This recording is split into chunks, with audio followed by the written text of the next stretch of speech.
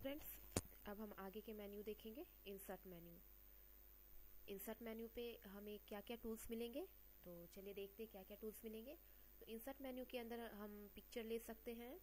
अपने word page पे हम सेप ले सकते हैं स्मार्ट आर्ट ले सकते हैं. वर्ड आर्ट है हेडर है फुटर है symbol and equation and table also तो होम मेन्यू के बाद अब हमारा दूसरा मेन्यू है इंसर्ट और इंसर्ट मेन्यू के हेल्प से अब हम पिक्चर पे सेप पे स्मार्ट आर्ट पे टेबल पे बहुत सारे काम कर सकते हैं। तो चलिए हम सबसे पहले देखते हैं table. How to work with table अब टेबल पे हम काम कैसे कर सकते हैं? वर्ड के पेज पे अभी तक हम लोगों ने सिर्फ़ लेटर टाइप किया था ना? आज हम टेबल भी लेंगे और टेबल के ऊपर भी बहुत सारे वर्क कर सकते हैं। कैसे? तो चलिए चलते हैं वर्ड के पेज पे। ये चेक करने के लिए कि टेबल पे वर्क होगा कैसे।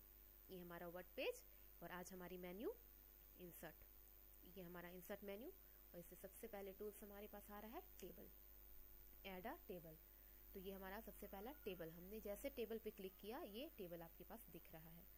तो ये टेबल पे जो आ रहा है, ये इतने सारे कॉलम्स है और ये रो है. आप जितने रो कॉलम सेलेक्ट करेंगे, आपके पेज पे देखिए, वो डिस्प्ले शो कर रहा है, वो आता चला जाएगा. तो आप जितने कॉलम या रो सेलेक्ट कीजिए, देखिए आपके पेज पे वो आता चला जा रहा है.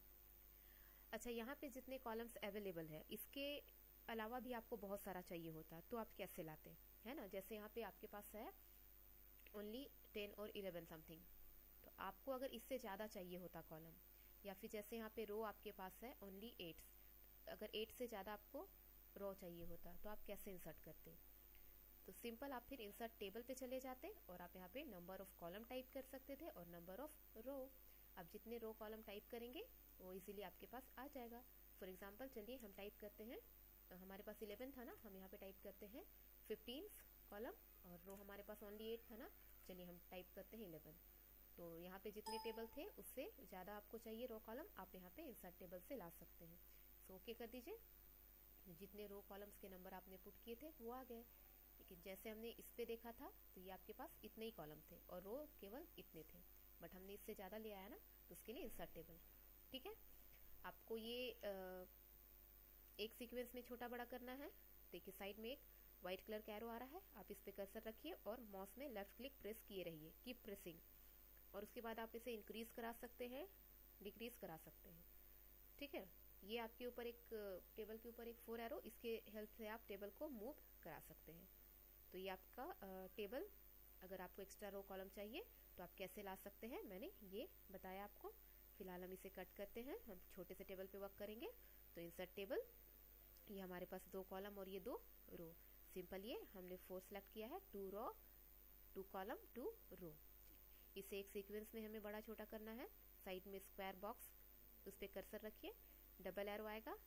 लेफ़्ट क्लिक प्रेस करके आप उसे इंक्रीज या डिक्रीज इजिली करा सकते हैं। तो ये जो सारे सेल है, वो एक सीक्वेंस में छोटे या बड़े हो गए।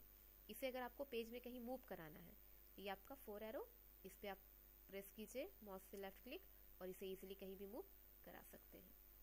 ठीक है? एक सीक्वेंस में छोटा बड़ा करने के लिए व्हाइट कलर के स्क्वायर से और मूव कराने के लिए इससे। अब हम इस पे अगर कुछ टाइप करते हैं, जैसे हम इस पे टाइप करते हैं टेबल नंबर वन इस पे हम टाइप करते हैं टेबल नंबर टू अब हमें लग रहा है कि हम इस पे टेबल नंबर थ्री फोर भी टाइप करते बट ये तो हमारा टू खत्म हो गया, इसके आगे हमें थ्री फोर चाहिए था। इस पे हम नहीं आएँगे। इस पे मतलब कॉलम नंबर वन टू हुआ, अब रो नंबर ये लगे अब हम चाहते थे कि हमारा और कॉलम हो। तो क्या हम टेबल पे और एडिटिंग कर सकते हैं? हम बिल्कुल कर सकते हैं। आप इस टेबल को सिलेक्ट कर लीजिए, इस पे राइट क्लिक कीजिए। देखिए आपके पास इंसर्ट का ऑप्शन आएगा। क्या कर सकते हैं? अगर आपको और टेबल एक्स्ट्रा इंसर्ट करने हैं तो आप सिलेक्ट कीजिए अपने टेबल को। आप अपने टेबल को इजिली सिलेक्ट कीजिए, उस पर राइट क्लिक कीजिए। उसी पे आप राइट क्लिक कीजिए। देखिए, आपके पास एक ऑप्शन आ रहा है। राइट क्लिक ऑप्शन कीज होता ही है। इंसर्ट अभी आपसे पूछ रहा है इंसर्ट कॉलम करना है लेफ़्ट साइड और राइट साइड या फिर रो चाहिए अब या बिलो या फिर इंसर्ट सेल नंबर चाहिए। तो आपके पास बहुत सारे ऑप्शन अगर आप लेफ़्ट क्लिक कीजिएगा तो ये सारे टेबल आपके लेफ़्ट साइड भी इंसर्ट हो जाएँगे। चलिए क्लिक करके देखते हैं। देखिए, हमने लेफ़्ट साइड बोला था, हमारा लेफ़्ट साइड ये है। वापस अगर हम इसे राइट साइड चाहिए तो क्या कर सकते हैं? सिलेक्ट तो ये है ही। राइट क्लिक करके इंसर्ट पे जाके राइट साइड ले सकते हैं। तो जितने टेबल थे, उतने फिर से आ गए। मतलब परेशान नहीं होना है। अगर number of cell number of row column अगर आपके पास कम भी पड़ते हैं तो आप इस पर माउस में राइट क्लिक की हेल्प से इंसर्ट करा सकते हैं। बट सबसे इंपॉर्टेंट आपको इसे सिलेक्ट करना होगा। सिलेक्ट करने के बाद आपको राइट क्लिक करना होगा। देन आपको जाना होगा इंसर्ट और इंसर्ट पे आपके डिफरेंट डिफरेंट मेन्यू रॉ के लिए भी कॉलम के लिए भी इंसर्ट सेल नंबर चाहिए। वो आपसे पूछेगा शिफ्ट राइट साइड करना है डाउन करना है, इंटायर जितना है उतना और चाहिए, जो आपको चाहिए आप सिलेक्ट करके ओके कीजिए, आपके पास वो वापस आ जाएगा। ठीक है? तो ये हमने आज इंसर्ट से सीखा टेबल लेना।